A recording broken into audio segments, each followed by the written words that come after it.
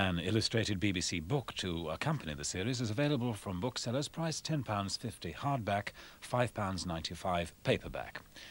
Next month's programme, to be shown in the first week of July, looks at how plants achieve pollination and at some of the insects who play a large part in the process. Also, there are recipes for a complete meal based on plants. BBC Two. Now, Newsnight.